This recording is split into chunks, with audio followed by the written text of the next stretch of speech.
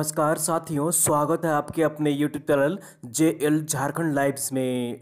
दोस्तों, आज है एक मार्च और हम लोग यहाँ पर आज एक मार्च के झारखंड के महत्वपूर्ण करेंट अफेयर क्वेश्चन देखने वाले हैं। तो दोस्तों, अगर आप J L Jharkhand live channel में अगर नए हैं तो सबसे पहले चैनल को ज़रूर सब्सक्राइब कर लीजिए और साथ ही जो बेल आइकन बना हुआ है, उसको प्रेस कर लीजिए ताकि आगे का जो भी अपडेट्स अगर वीडियो आएगी नोटिफिकेशन सबसे पहले आपको यहाँ पर मिल जाया करेगी। तो दोस्तों, चैनल को ज़रूर सब्सक्राइब कर लीजिए और पीडीएफ के लिए आप हमारे टेलीग्राम ग्रुप ज्वाइन कर लीजिए। वीडियो के नीचे आपको डिस्क्रिप्शन में लिंक मिल जाएगी, आप वहाँ पर क्लिक कर हमारे टेलीग्राम ग्रुप ज्वाइन कर सकते हैं। डेली शाम के सात बजे वहाँ पर पीडीएफ प्रोवाइड कर दी जाती है। तो पीडीएफ के लिए हमारा टेलीग्राम ग्रुप ज़रूर ज्वाइन कर लीजिए। और चलिए हम लोग यहाँ पर आज एक मार्च के झारखंड के महत्वपूर्ण करेंट अफेयर क्वेश्चन देखते हैं। तो यहाँ पर आज का पहला प्रश्न है, झारखंड विधानसभा के इतिहास में विपक्षी विधायक के द्वारा विधेयक लाया गया है। विपक्षी द्वारा लाया गया विधेयक कितने नंबर का यह विधेयक बन गया है? तो इसका सही आंसर जो होगा यहाँ पर ऑप्शन नंबर डी इज़ बिल्कुल सही आंसर हो जाएगा। तो यह चौथे नंबर का विधेयक है। कितने नंबर का है? चौथे नंबर का विधेयक बन गया है, जो हाल ही में झारखंड विधानसभा के इतिहास में यह चौथी बार है, जब किसी विपक्षी विधायक के द्वारा विधेयक लाया गया है। तो ऑप्शन नंबर डी इज़ बिल्कुल सही आंसर। हो जाएगा। ये विधायक कौन है? कहाँ से बिलोंग करते हैं? और ये विधेयक क्या है? चलिए हम लोग यहाँ पर सारे डिटेल्स में देख लेते हैं। तो सबसे पहले यहाँ पर देख लीजिए, झारखंड विधानसभा के इतिहास में चौथी बार, ठीक है? कितनी बार? चौथी बार किसी विधायक ने विपक्षी विधायक ने विधेयक लाया है। यह चौथा विधेयक गोमिया के विपक्षी विधायक हैं और ये है लंबोदर महतो। कौन है? लंबोदर महतो हैं जो गोमिया के विपक्षी विधायक हैं और इन्होंने विधानसभा में गैर सरकारी विधेयक पेश करने के लिए आवेदन दिया है। और इस विधेयक के ज़रिए उन्होंने बिहार की तर्ज पर झारखंड में पूर्ण शराबबंदी का प्रस्ताव दिया है। तो ये जो विधेयक लाया गया है लंबोदर महतो के द्वारा तो ये जिस तरह से बिहार में पूर्ण शराबबंदी है, उसी तरह से झारखंड में भी हो, इसलिए ऐसा यहाँ पर प्रस्ताव विधेयक लेकर आया लाया गया है। झारखंड विधानसभा में सबसे पहले जो यहाँ पर विपक्षी विधायक थे, जिन्होंने सबसे पहले विधेयक लाया था, वे थे भागपा माले के विधायक महेंद्र सिंह। इन्होंने वर्ष 2003 में गैर सरकारी विधेयक लाया था और यह विधेयक जो था वो झारखंड में सूचना के अधिकार कानून को लागू करने को लेकर था। इस विधेयक को चर्चा की अनुमति नहीं मिली थी।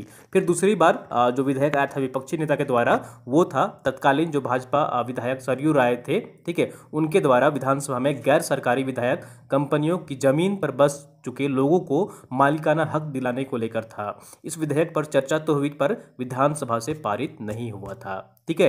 तो अब जो है, यहाँ पर ये चौथा विधेयक बन गया है, जो विपक्षी विधायक के द्वारा लाया गया है और ये लाया गया है लंबोदर महतो है गोमिया के विधायक है। गोमिया विधानसभा से विधायक चुने गए हैं, निर्वाचित हुए हैं और उन्हीं के द्वारा ये विधेयक लाया गया है झारखंड विधानसभा में। तो ऑप्शन नंबर डी इज़ बिल्कुल सही आंसर हो जाएगा। ये है लंबोदर महतो और ये है गोमिया के गोमिया विधानसभा क्षेत्र से निर्वाचित होकर आए हैं विधानसभा में। चलिए अगले प्रश्न की ओर चलते हैं और अगला प्रश्न है यहाँ पर। स्वतंत्रता संग्राम में अहम भूमिका निभाने वाले वीर शहीद बाबा तिलका मांझी की प्रतिमा का अनावरण राज्यपाल ने किस स्थान पर किया है? तो इसका सही आंसर जो है यहाँ पर ऑप्शन नंबर बी इज़ बिल्कुल सही आंसर हो जाएगा। तो राजभवन में, कहाँ पर? राजभवन में वीर सहित बाबा तिलका मांझी की प्रतिमा का अनावरण किया गया है। तो ऑप्शन नंबर बी इज़ बिल्कुल सही आंसर हो जाएगा। ठीक है? और इसका अनावरण किन्होंने किया है? तो राज्यपाल द्रौपदी मुर्मू ने किया है। चलिए हम लोग यहाँ पर, और भी डिटेल्स में यहाँ पर देख लेते हैं। तो राज्यपाल द्रौपदी मुर्मू ने 27 फरवरी 2021 को भारतीय स्वतंत्रता संग्राम में अहम भूमिका निभाने वाले वीर शहीद बाबा तिलका मांझी की प्रतिमा का अनावरण राजभवन परिसर स्थित मूर्ति गार्डन में किया गया है। मूर्ति गार्डन में स्वतंत्रता संग्राम में भाग लेने वाले वीर शहीद, ठीक है, वीर शहीद की, शहीदों की प्रतिमा यहाँ पर स्थापित की जा रही है और इसी क्रम में यहाँ पर वर्तमान में सत्ताईस फरवरी को वीर शहीद बाबा तिलका मांझी की प्रतिमा का अनावरण किया गया है राज्यपाल द्रौपदी मुर्मू के द्वारा।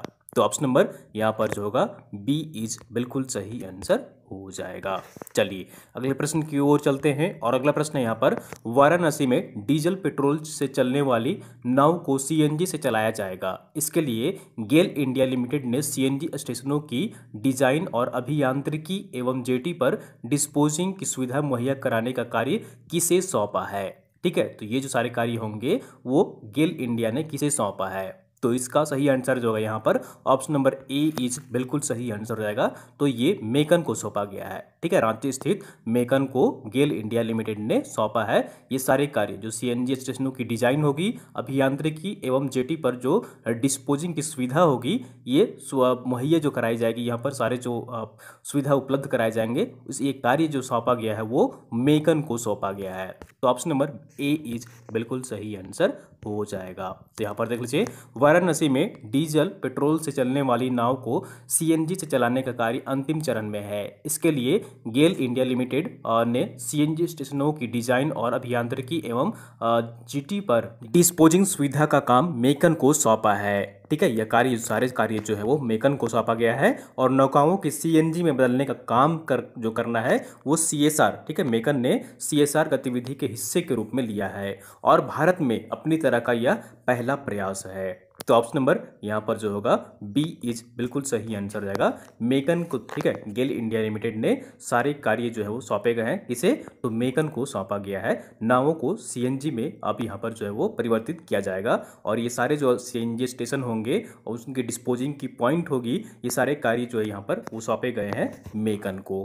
चलिए अगले प्रश्न की ओर चलते हैं। और अगला प्रश्न है यहाँ पर, हाल ही में तीन दिवसीय कलांजलि कार्यक्रम 2021 की शुरुआत किस शहर में की गई है? तो झारखंड के किस शहर में कलांजलि कार्यक्रम 2021 की शुरुआत की गई है? तो इसका सही आंसर जो होगा यहाँ पर, ऑप्शन नंबर सी इज़ बिल्कुल सही आंसर हो जाएगा। तो इसकी शुरुआत जो की गई है इस कार्यक्रम का जो शुरुआत किया गया है वो रांची शहर में किया गया है। कहाँ पर किया गया है? तो ये रांची शहर में किया गया है कलांजलि कार्यक्रम 2021 की शुरुआत। तो ऑप्शन नंबर सी इज़ बिल्कुल सही आंसर हो जाएगा। तो यहाँ पर देख लीजिए, हाल ही में रांची स्थित आड्रे हाउस में तीन दिवसीय कलांजलि कार्यक्रम की शुरुआत की गई है। इस कार्यक्रम में राज्य के एवं अन्य दूसरे राज्यों के कलाकार अपने जो है वो कला प्रदर्शन करेंगे। ठीक है तो ये कहाँ पर शुरुआत की गई है? रांची के आड्रे हाउस में कलांजलि कार्यक्रम 2021 की शुरुआत की गई है। तो ऑप्शन नंबर सी इज़ बिल्कुल सही आंसर हो जाएगा। चलिए, अगले प्रश्न की ओर चलते हैं और अगला प्रश्न है यहाँ पर। हरियाणा के चंडीगढ़ यूनिवर्सिटी स्पोर्ट्स कॉम्प्लेक्स में चल रहे उनतीसवीं सीनियर राष्ट्रीय वुसु प्रतियोगिता, ठीक है? वुसु प्रतियोगिता में झारखंड से किसने रजत पदक जीता है? ठीक है, झारखंड से किसने यहाँ पर जो है वो रजत पदक जीता है। तो इसका सही आंसर जो है यहाँ पर ऑप्शन नंबर बी इज़ बिल्कुल सही आंसर हो जाएगा। ये हैं गीता खलको कौन है? गीता खलको हैं, जिन्होंने रजत पदक जीत हासिल किया है उनतीसवीं सीनियर राष्ट्रीय वुसु प्रतियोगिता में। ठीक है, याद रखिएगा यहाँ पर वुसु प्रतियोगिता में इन्होंने रजत पदक जीता है। चलिए और भी हम लोग यहाँ पर डिटेल्स में देख लेते हैं। तो चंडीगढ़ यूनिवर्सिटी के स्पोर्ट्स कॉम्प्लेक्स में चल रही उनतीसवीं सीनियर राष्ट्रीय वुसु प्रतियोगिता के दूसरे दिन सत्ताईस फरवरी दो हज़ार इक्कीस को झारखंड की गीता खलको ने रजत पदक जीता है। गीता ने नानछुआन इवेंट में रजत पदक जीत हासिल किया है। प्रतियोगिता में झारखंड का यह दूसरा पदक है। पहले दिन कुंग फू ताई ची इवेंट इवेंट में, ठीक है? कुंग फू ताई ची इवेंट में झारखंड की बबली कक्षप ने शानदार प्रदर्शन करते हुए रजत पदक जीता था।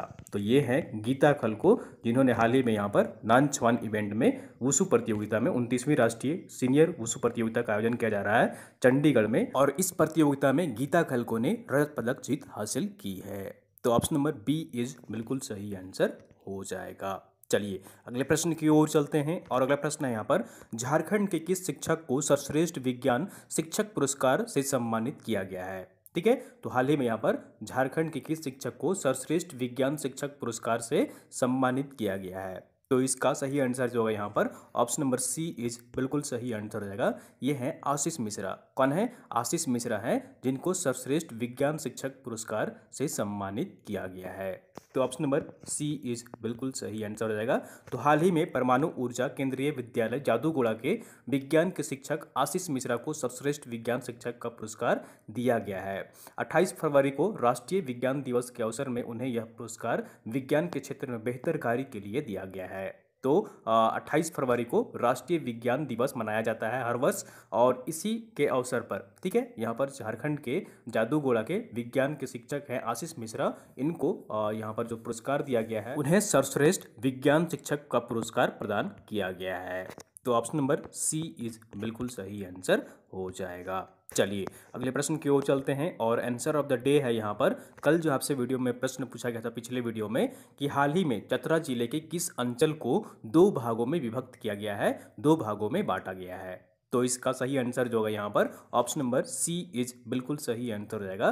तो टंडवा है, ठीक है? टंडवा अंचल को दो भागों में बांटा गया है और अब ये जो दो भाग में बटे हैं, उन दो भागों का नाम है टंडवा एक ठीक है, टंडवा एक नाम है पहले का और दूसरे का टंडवा दो नाम है, ठीक है? टंडवा एक और टंडवा दो भागों में बांटा गया है टंडवा अंचल को, ठीक है? और यह कहाँ पर पड़ता है? चतरा ज़िले में पड़ता है। तो ऑप्शन नंबर सी इज़ बिल्कुल सही आंसर हो जाएगा और आप लोगों ने मैक्सिमम लोग इसका सही आंसर कमेंट किए थे, जैसा कि मैं कमेंट बॉक्स में देख पा रहा था। तो यहाँ पर देख लीजिए सारे महत्वपूर्ण फैक्ट्स और डिटेल्स यहाँ पर। चतरा ज़िले के टंडवा अंचल को विभक्त कर दो नए अंचलों का गठन किया गया है। एक अंचल को टंडवा एक और दूसरे को टंडवा दो के नाम से जाना जाएगा। इससे संबंधित राजस्व निबंधन एवं भूमि सुधार विभाग ने प्रस्ताव को मुख्यमंत्री हेमंत सोरेन ने मंजूरी प्रदान कर दी है। टंडवा अंचल की कुल जनसंख्या वर्ष 2011 की जनगणना के मुताबिक एक लाख छब्बीस हज़ार तीन सौ उन्नीस है। ठीक है? वो वर्ष 2011 में जो जनगणना हुई थी आ, उस समय आबादी जो थी वो एक लाख छब्बीस हज़ार तीन थी। चतरा जिला हजारीबाग ज़िले का उपखंड था और इसे ज़िले के रूप में दिनांक उनतीस पाँच उन्नीस को स्थापित किया गया था, अलग किया गया था हजारीबाग ज़िले से चतरा ज़िले को। ठीक है? तो ये याद रखिएगा, ऑप्शन नंबर सी इज़ बिल्कुल सही, आंसर रहेगा टंडवा को। ठीक है, टंडवा अंचल को अब दो भागों में विभक्त कर दिया गया है। चलिए, आज का प्रश्न हम लोग यहाँ पर देख लेते हैं। क्वेश्चन ऑफ़ द डे है, झारखंड के एकमात्र कवि कौन है जिनकी कविता दिव्यम पुस्तक में प्रकाशित की जा रही है? ठीक है, झारखंड के एकमात्र कवि कौन है जिनकी कविता दिव्यम पुस्तक में प्रकाशित की जा रही है? चार ऑप्शन है आपके यहाँ पर, जनक चक्रवर्ती, राधिका प्रजापति, शिवांगी श्रीवास्तव या फिर संजय कुमार मेहता। तो आपको कमेंट करके बताना है कि दिव्यम पुस्तक में प्रकाशित की जा रही है जिनकी कविता, वो झारखंड के एकमात्र कवि कौन है? ठीक है? इसका सही आंसर कमेंट करने की कोशिश करिएगा दोस्तों।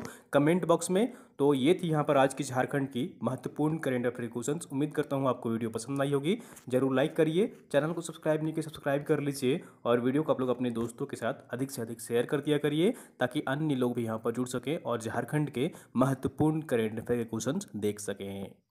अब झारखंड के सभी जिलों एवं शहरों में उपलब्ध